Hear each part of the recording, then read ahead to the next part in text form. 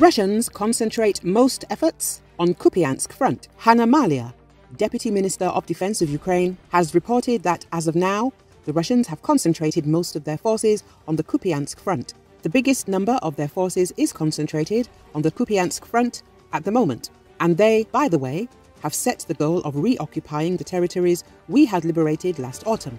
It is important for them from morale and military points of view, she said. Maliar added that the Russians are also deploying a huge number of troops to the Bakhmut front. We have always talked about advancing on the flanks around the city of Bakhmut as it was important for us to reach dominant heights.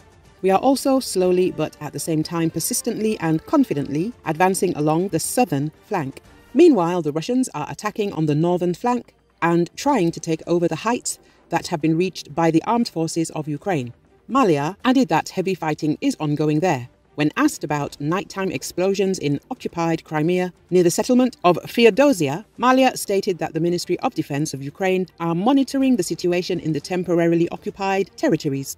The instability in these territories is predictable as the war is ongoing and our strategic plans are to liberate all our territories. A reminder that the main intelligence directorate at the Ukrainian Defense Ministry warned earlier that as long as Russian troops stay within the Crimean Peninsula, explosions would only intensify there.